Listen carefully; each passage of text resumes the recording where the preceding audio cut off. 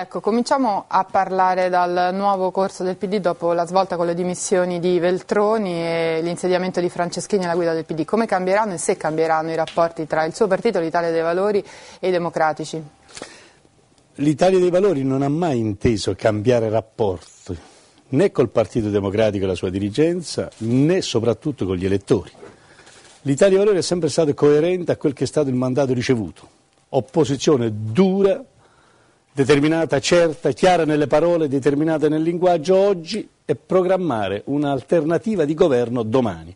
L'Italia dei Valori sa che da sola non può farcele, sa che sbaglia il PD quando pensa che può farcela da solo, sa soprattutto che ha sbagliato il PD quando ha pensato di dialogare con eh, Berlusconi su temi fondamentali come la giustizia e la questione morale.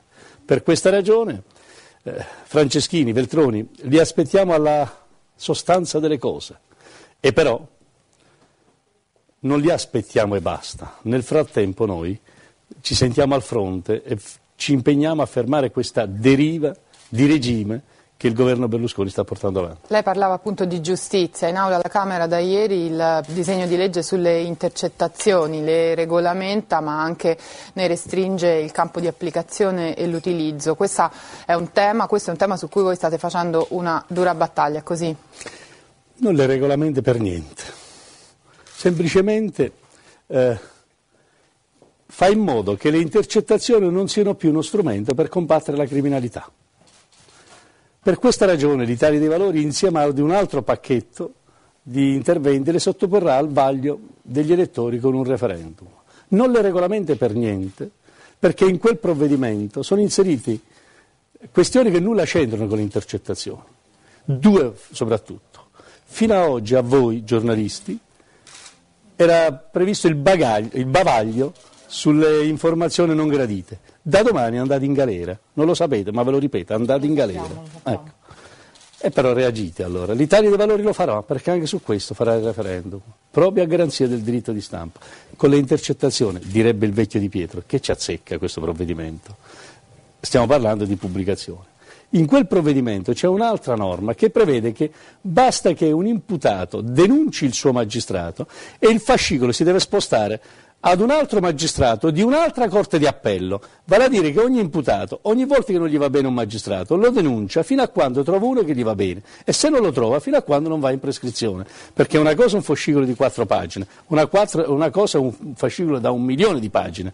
Chi lo legge e mentre lo legge, quando il magistrato si è rifatto un'idea, lo risostituisce un'altra volta l'imputato. Questo con l'intercettazione non c'entra nulla. Senta, un altro tema su cui si sta discutendo molto in queste settimane dopo la drammatica vicenda soprattutto di Eluana Englaro è quello che riguarda la, rego la regolamentazione del cosiddetto fine vita, le leggi sul testamento biologico in discussione al Senato. Qual è la vostra posizione su questo tema?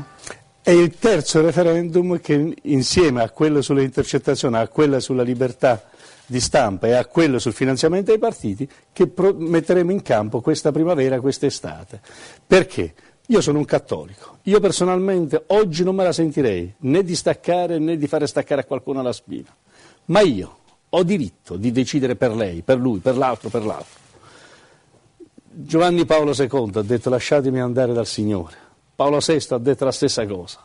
Io da buon cattolico dico che ognuno ha diritto di vivere ma ha anche diritto di morire dignitosamente e che della sua vita ognuno è padrone e risponde davanti a Dio e non per legge a questo o a quel legislatore che per convenienza si fa una legge. Per questo noi ogni norma che impedisce al cittadino di autodeterminarsi lo riteniamo una norma incostituzionale, illegittima e anche incivile e per questa ragione promuoveremo un referendum. Senta, un'ultimissima domanda, in questi giorni proprio anche in seguito all'insediamento di Franceschini si è aperto nuovamente un dibattito, una polemica rovente tra, tra eh, Franceschini e Berlusconi proprio sulla questione della Costituzione, accuse eh, reciproche, lei che nelle settimane scorse è stato comunque protagonista più o meno involontario anche di un eh, braccio di ferro come dire, a distanza con il Quirinale, che ne pensa? Io penso che Berlusconi nei fatti stia eh, mortificando la Costituzione si accinge ad attentarla.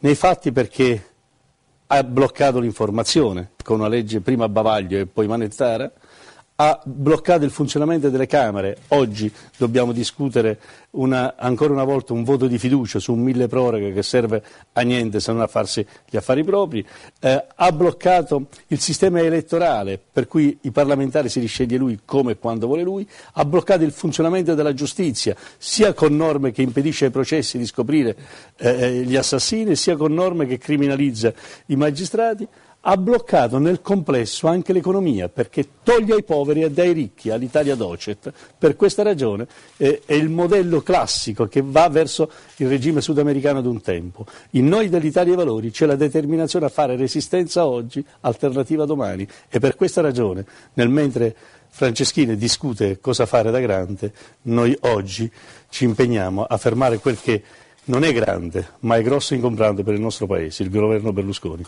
Grazie allora onorevole Di Pietro, buon lavoro, grazie. Per essere stato con noi. E buon caffè, grazie.